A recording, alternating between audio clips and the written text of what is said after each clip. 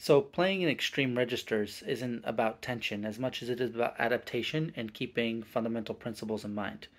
When we play very high notes or very low notes, we don't want to change much in our musculature or our embouchure.